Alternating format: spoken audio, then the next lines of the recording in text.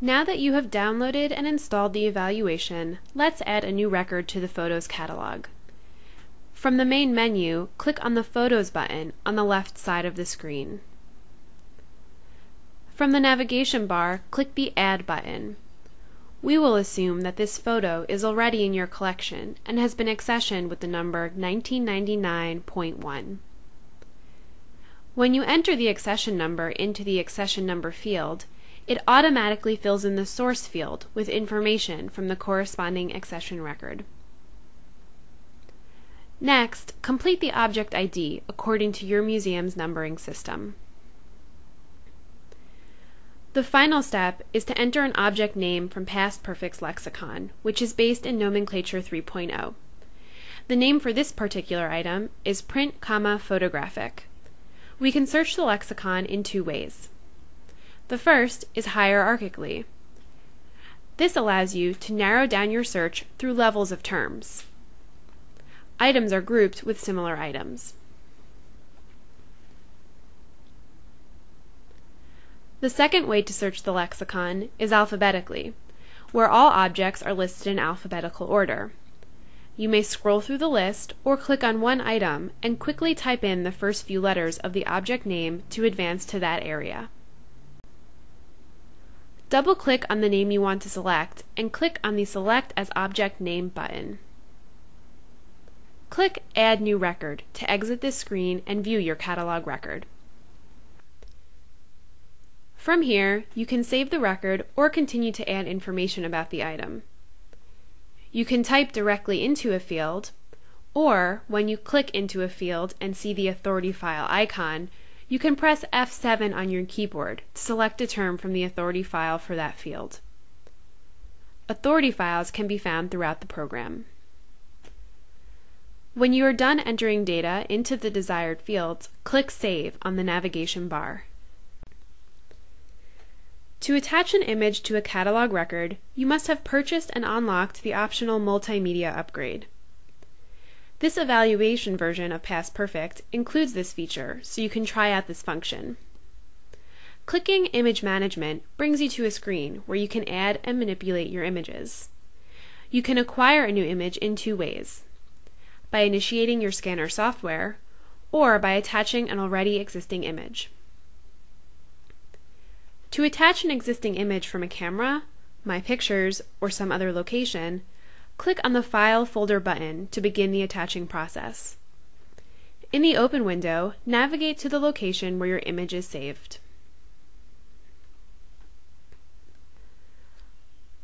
Select the correct image that goes with the record and click Open.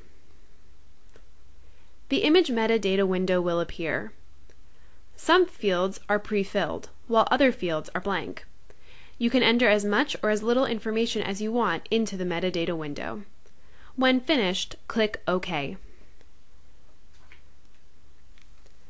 Click Exit to return to your catalog record. You will see the image in the upper right corner of the screen, above the Image Management button. You can add up to 999 images per record. PastPerfect has many easy-to-use tools for searching your collection. Let's exit back to the main menu to examine various research functions. The Research section of the main menu contains five approaches to researching your collection records. Each of these five ways allows you to view records and images, print or export results, and save results to catalog lists. One way to search your records is with all four catalogs. Searching this way allows you to find common items across the four catalogs. Build a filter statement by selecting a field, condition, and value. Click Add to Statement and then click Run Query to select records.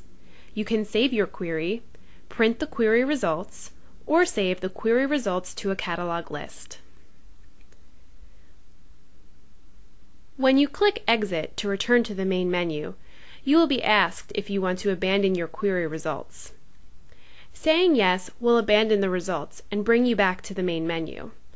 Saying no will allow you to save the filter statement and run the query again at a later date. Another way to search is by keyword.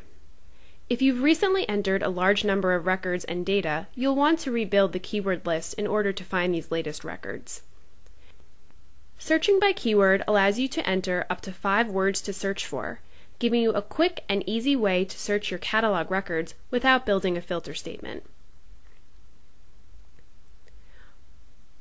When finished, click Exit to return to the main menu.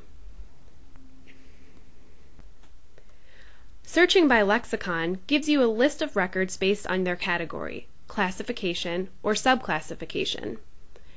You can further narrow results by selecting an object name, just as you would when adding a record. For example, to search for a photograph, select Communication Artifact for category, Documentary Artifact for classification, and Graphic Document for subclassification. Highlight the line that has the term Print Photographic and click Run Query to select records to view your results. When finished working with the records, click Exit to return to the main menu. Searching by people is slightly different than other search methods. The names listed are pulled from two areas, people biography records and the people field in your catalog records. The names here will appear in the same format as they are entered into the catalog records and people biographies. Select a tab and then double click on a name to view the associated catalog records. When finished, click Exit to return to the main menu. The final search tool in this section is by search term.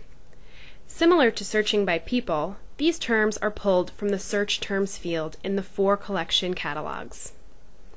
Double-click on the search term to view the associated catalog records. When finished working with the results, click Exit to return to the main menu. Thank you again for your interest in PastPerfect.